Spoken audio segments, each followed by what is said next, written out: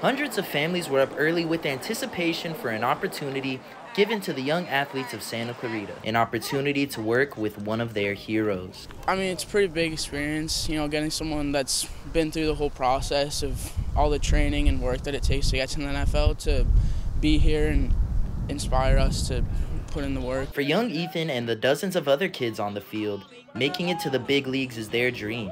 But for today, they've got coaches who made that dream a reality. These kids are out here spending their weekend morning with some of the very best football players in the world. Clearly, I could use some work too. This football camp is put on by Cincinnati Bengals wide receiver Trenton Irwin.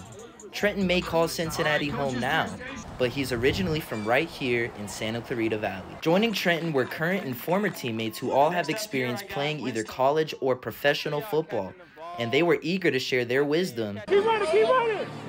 You would never, never give up on the ball when it's in the air. Always. And have some fun. Am My thief in the night. Yeah. Hey, ha. Enjoy the days like this. You know, you don't have them forever, but um, anytime you can come out and have players, you know, come back and try to help you out. Uh, kind of just enjoy it.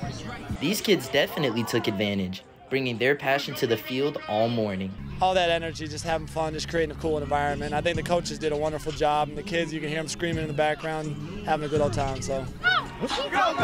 For Trenton, it's about more than football. For him, these lessons translate to everyday life. You know, there's plenty of times that you fail or you get beat or you know, it doesn't happen perfect how you want it to happen, but you are able to learn from that rep and grow and just be better because of it. And I think that you can learn those things in football at a quicker rate.